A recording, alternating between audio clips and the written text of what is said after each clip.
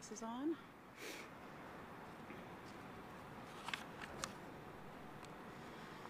So, good morning, everyone, and uh, thank you for joining us here today. Um, my name is Heather Stefanson. I'm the Minister of Health and, and Seniors Care uh, for the province of Manitoba. I'd like to start by acknowledging that we're on Treaty 1 territory in the homeland of uh, Metis Nation. Uh, very pleased to be here today at uh, Provincial Laboratory.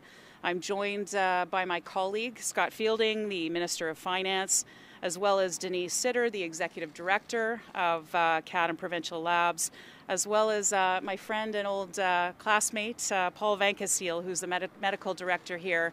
And I think Jared is here, his co-medical lead as well. So uh, thanks to you guys and, and just delighted to be here with all of you. Uh, for more than a year now, we have been, uh, there has been no greater challenge facing Manitobans than the COVID 19 pandemic. Uh, I'd like to take this opportunity to acknowledge the tens of thousands of Manitoba heroes who have helped in our battle against COVID 19 and extend a very special thank you to all of them, uh, to each and every one of them today.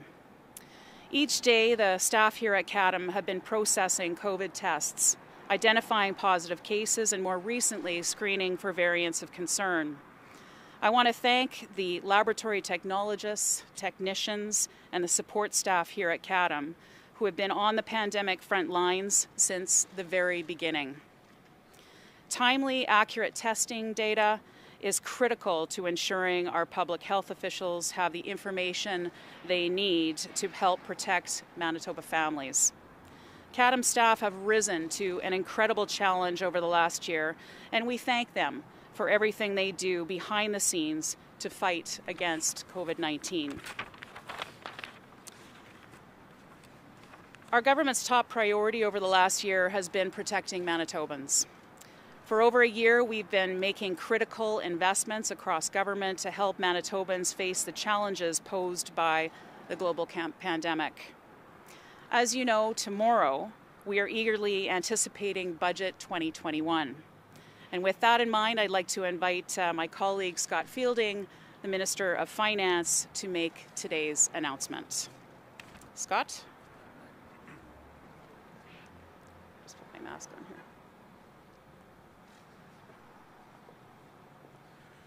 on here. well, thank you, uh, Heather. Thank you, Paul and Denise, for coming here today. And thank you, Minister Stefanson. And good morning, everyone. I want to thank us. Thank you for joining us here. It's fantastic Manitoba spring morning. Uh, we've been busy, of course, getting our budget ready for tomorrow. Obviously, uh, COVID 19, of course, is the front and the most important aspect of our provincial budget. Our government's main priority, as Heather had mentioned, is to protect Manitobans and to really advance Manitoba.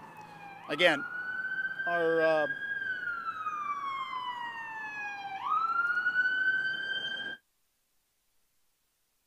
Again, our government's main priority is to protect Manitobans and to advance Manitoba.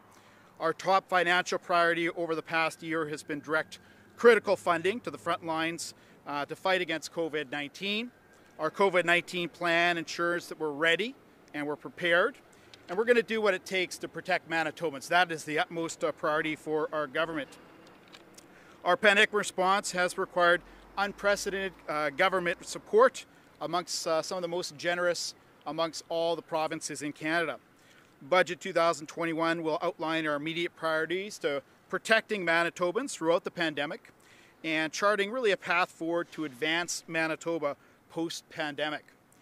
Uh, to uh, continue protecting Manitobans, we are allocating an additional $1.18 billion for COVID response in this coming fiscal year repeat, uh, we're continuing to protect Manitobans, setting aside $1.18 billion for COVID uh, types of supports.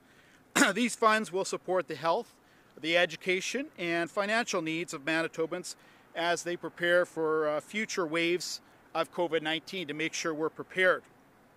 We are budgeting additional dollars for anticipated costs that uh, that has uh, that's been kind of a nature to all governments of while, whether that be things like testing, that they do right here at Cadham Labs, uh, as well as procuring more personal protection equipment and continue the largest vaccination campaign in Manitoba history. Actual costs continue to evolve, but estimated amounts for the, for the fiscal year include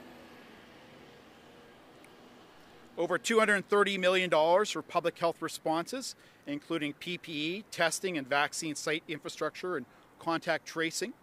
Over $350 million for additional healthcare system costs in preparations for potential future waves to make sure Manitobans uh, and the healthcare system is ready. $160 million for supports for school and education needs over uh, this year and next year. $100 million for full year cost of vaccine programs, the role of the vaccine programs, $40 million for uh, Manitoba Restart Program capital initiatives for the municipal to boost our economy. It's really important.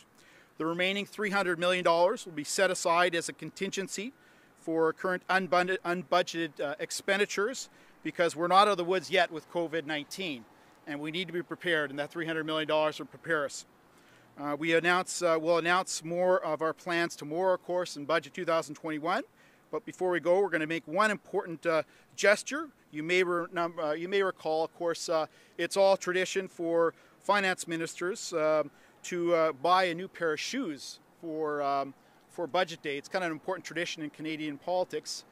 And what we've done here, and what we've tried to break over the last two, three years, or four years, or five years, in fact, since we came to office, uh, is we're gifting a pair of shoes to someone that's important, to an aspect of someone who's important in terms of a deserving Manitoban that, uh, that uh, will help fight the pandemic support. And this is ceremonial of all the healthcare professionals that have been involved, whether it be doctors, whether it be nurses, whether it be pharmacists, whether it be other uh, organizations. So uh, because we are so grateful of our hard work here today, professionals, I'd like to uh, present some shoes to Chatty. Chatty, of course, works in the provincial labs, and so we're uh, grateful to, to be a part of this and give the ceremonial shoes to show our appreciation as Manitobans for everything that all healthcare providers are doing, whether you're a nurse or doctor or pharmacist, lab tech, you name it, it's all part of a Team Manitoba approach to keep us safe. So we do have some shoes here, I believe. Uh, Eric, if I get you to come over. So Chatty, this is uh, on behalf of our government. I just want to say thank you for all the work that you're doing and all the work that uh, all healthcare professionals, whether you're a doctor, whether you're a nurse, whether you're a pharmacist, that are presenting and helping out with the fight versus the pandemic. Our government will do what it takes to protect Manitobans, and our budget will also focus on advancing Manitobans in so many different ways. So I want to thank you very much, and these are on behalf of our government for the hard work that you do every day here at Cadham Labs. Here.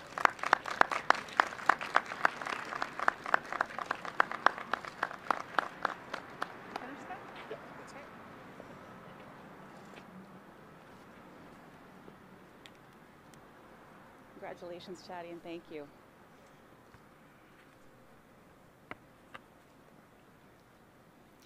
So thank you, uh, Minister Fielding. Thank you to Chatty. Certainly, Manitobans uh, appreciate all that you and your colleagues do at here at Cadham um, every day. All of that, all that you're doing every day. Uh, as we face the many challenges of this pandemic. So thank you for, for all that you do. Uh, I know that the almost 1.2 uh, billion budgeted for the upcoming fiscal year will go a long way to protecting Manitobans as we see COVID-19 through to the end. So thank you again, everyone, for joining us today, and we'd obviously be happy to